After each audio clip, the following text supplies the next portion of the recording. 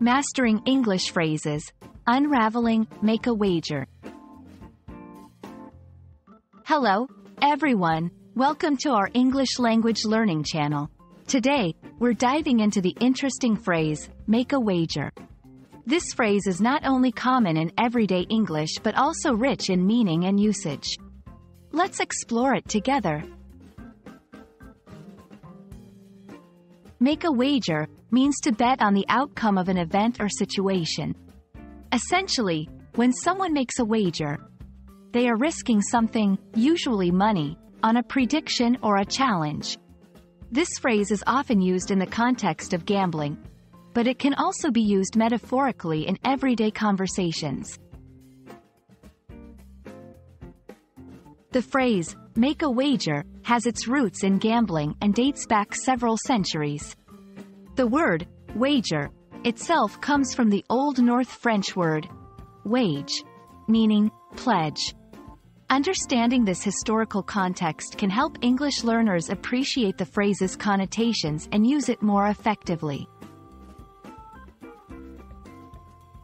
To get a better grasp of how to use, make a wager, Let's look at some examples.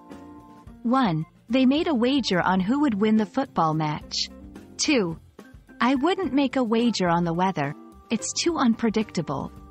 These examples show how the phrase can be used in different contexts, helping learners understand its versatility.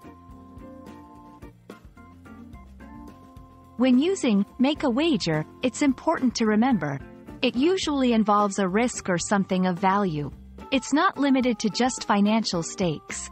The phrase should not be confused with simply making a guess. There is an element of risk involved.